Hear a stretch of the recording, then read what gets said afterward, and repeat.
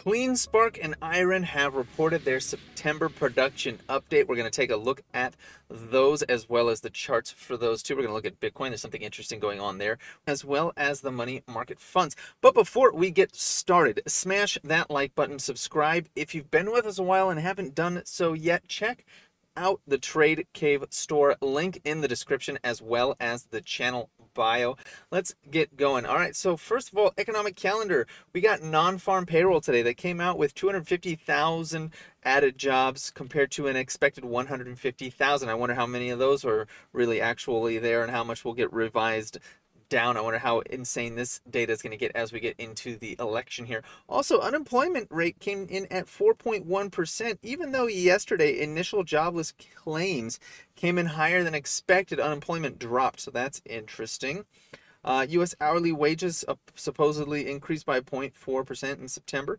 Uh, that's interesting. So there's wage inflation going on there. Wages year over year have gone up 4% compared to uh, before last month's read, which was 3.9%, so up 0.1% there. So there's a little bit of inflation there going on.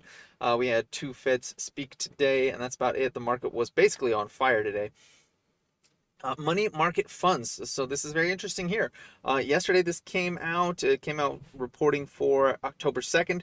We have increased by nearly $40 billion in uh, in money market funds. Uh, and let's see, the majority of that was coming from retail. So retail is scared right now. That's actually probably a, a good sign in terms of potentially being a time to buy uh, when retail gets scared and starts adding. Because you can see here, they added significantly more than institutional. Institutional added about $14 billion, whereas um, retail added the rest, which would added up to almost that $40 billion. So like, they, they added significantly more than institutional buyers did for their money market funds last month. So that's interesting to see. It shows that retail is scared of whatever's going on right now.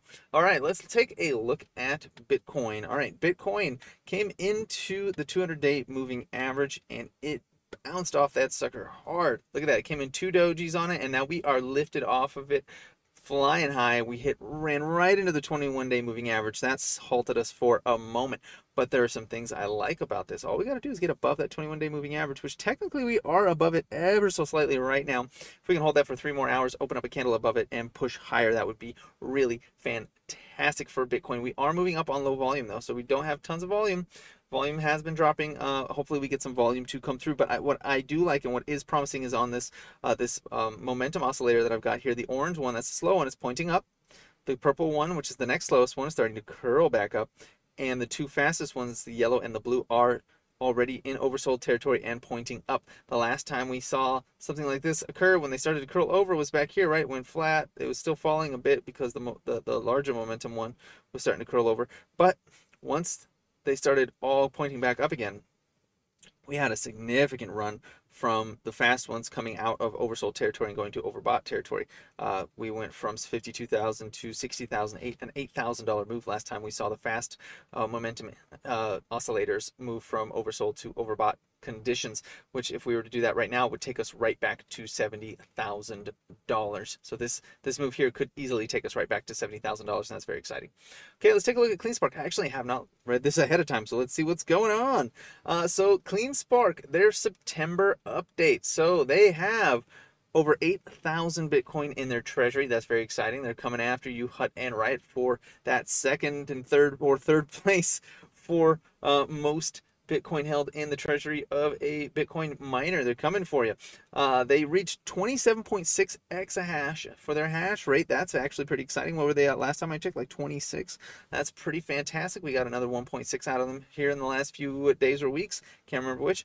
Um, let's see. CleanSpark is expecting to reach by the end of October 30 exahash. I know that's only what 2.3 exahash from where they currently are, but that is a huge, huge deal that they would be operating with 30 exahash by the end of this month. If they can achieve that, that's going to be a pretty amazing outcome, I think, for October. They are, let's see, I mean, they're they're planning to get to 50 in 2025, but I mean, with the the way they've been they've been hitting their schedule lately, they they might get there sooner. So this is very exciting, actually. This is very very exciting.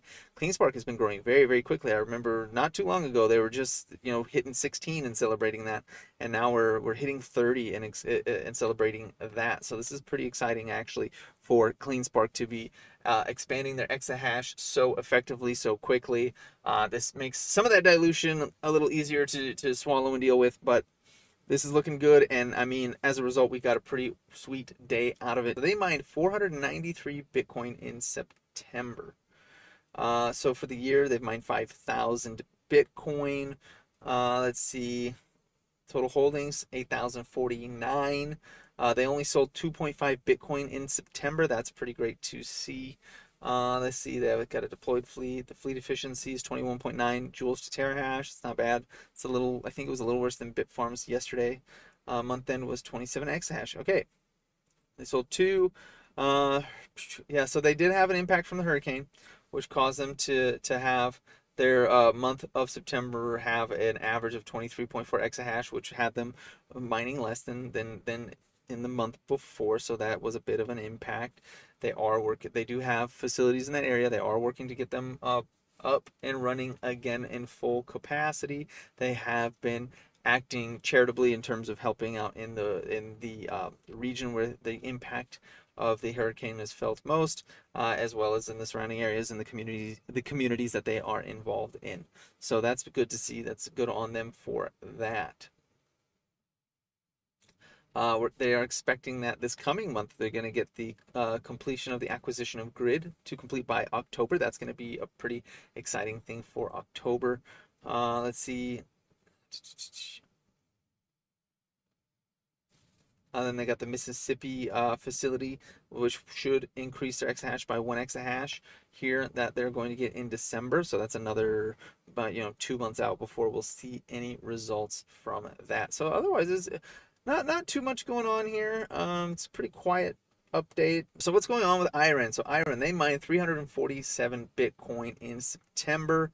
Uh, let's see, it cost them about $23,600 uh, in electricity cost to mine a Bitcoin. That does not include the operational costs in terms of like their whole operation, their administrative costs, their other costs eh, associated. That's purely purely the electrical cost. That's so it's a little bit misleading, but like it's good to see that they are reporting that is that is important to know.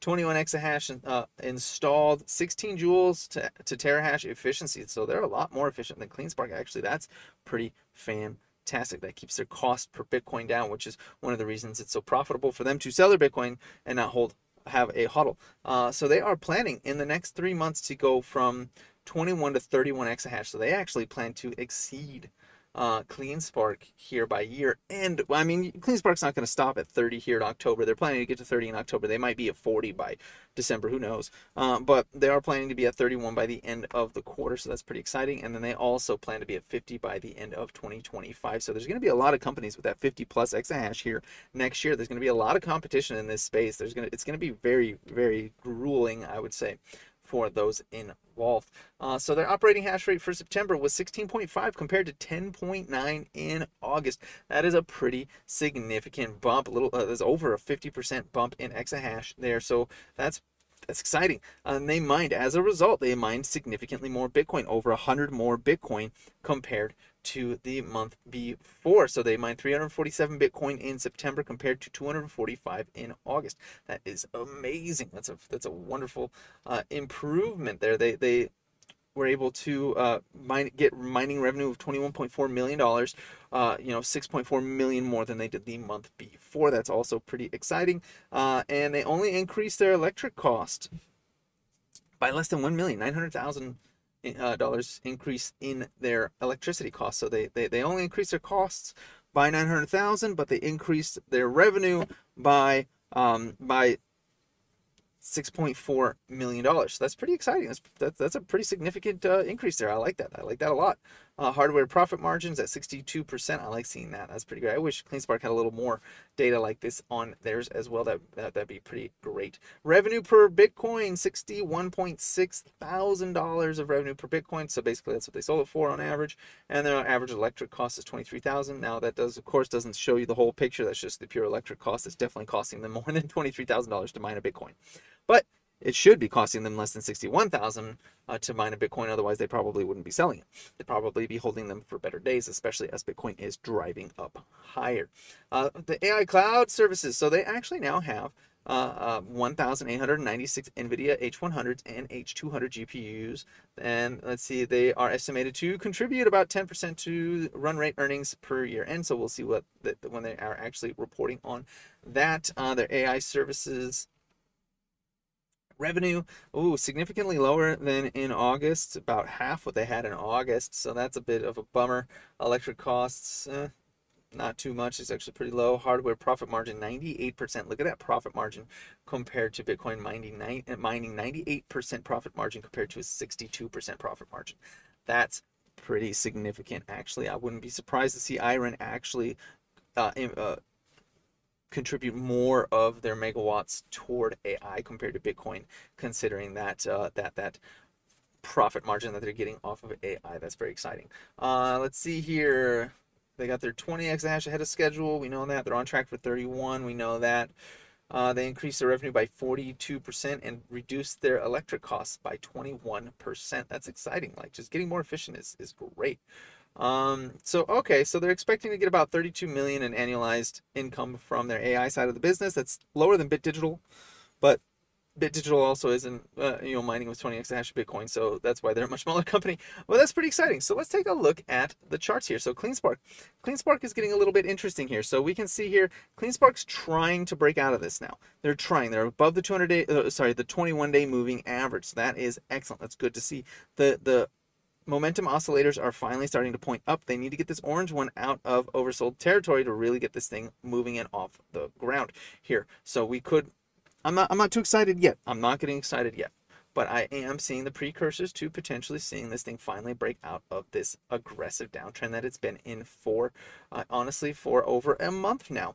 Uh, we are going to see this thing come out of it, and when it does come out of it, I think it's going to be explosive. I think we're going to be seeing this thing up at 18, 19, 20 dollars faster than we realize, and so I am excited to see days like this, but I'm not getting overly excited about. All right it's it's starting to look a little bit better than it was before. Uh, we're above the 21 day moving average. We need to hold that for two or three days before I actually care about this move. So that's all for CleanSpark. Let's take a look at IREN. IREN's actually in a significantly better position than CleanSpark right now. I dropped way less in terms of the last month or so. It's been going sideways. It's been consolidating honestly since August 5th. And I think we're consolidating, waiting for that October moment where we can see ourselves revisiting this $15, $16. Maybe, maybe this time we'll peak out to 18 possibly even $20 on on IREN if they hit all their their targets with uh, you know with ease and accuracy and if they they stay on on on their schedule with everything uh, I do see that they're momentum oscillator on the orange one is coming out of oversold conditions right now. That is fantastic. The other three are now, oh, the two fast ones are pointing up. The, the, the mid-level slower one, the, the purple one there, is going flat, which soon will curl up. That's all very exciting. We see those things. We've seen this before. When they go from the bottom to the top, uh, which I mean, eh, when we take the orange from the bottom of the top, let's let's let's look at that. The last time the orange one came from the bottom of, to the top of the oscillator, which would have been started here on May 16th, it went from five dollars all the way up to 15 almost before we saw a pullback. So we saw a 200% run when we saw the orange uh, oscillator move from the bottom to the top before we saw the first real sell-off of that uh, move. So if we were to do that again, we would be looking at uh, $24 before uh, the uh, price of this thing really started to cool off again. Uh, so that would actually be pretty exciting. Now, I am not calling $24. Uh, I'm thinking probably closer to 18. We might see a 100% move, maybe 150% move this time. That would be pretty fantastic, especially when we're coming off of, you know, an 8. Well, if we're coming from the bottom, if we're coming from the bottom, it's about the same. So it'd be about, you know, 16 to 18 dollars that we'd see from a two 300 percent move on this thing if we're counting it from the, the the day we we went out of oversold conditions we're looking at you know we're looking at about 771 or so but let's call it 750 ish uh, so 15 would be a double um, 2250 would be a triple so maybe maybe low 20 maybe very low 20s or very high teens for this run here going into uh, September going into uh, Q4 in the holiday season. Uh, so I do like where this is. I like that IREN is making a head and shoulders down here an inverted head and shoulders. I like that we're right on the neckline for the inverted head and shoulders. We're getting right up on it. We're, we're almost there. All we got to really do is get another not even a dollar. We got to get up to 937 938 to say that we're above the neckline on the inverted head and shoulders. And once we do that, we are flying high up to 11, 1126. We conquer 11, 1126. We're going back up into the teens, right up into like 13, 14 dollars, where we may struggle a bit up to you know 15, 16 bucks, and then we might do a little bit of price discovery for the not price discovery because we've been higher than that before, but we might be looking to discover a new cycle high here in December uh, for IREN, especially if Bitcoin gets the move that we're looking for up to that 70,000 and above uh, for the Christmas season on Bitcoin. But anyways, that's all I've got for you today. Please like, comment, subscribe, share this video. Check out the Trade Cave store, link in the description as well as the channel bio. Stop by tomorrow for the weekly and monthly closes on our favorite Bitcoin miners and have a profitable day.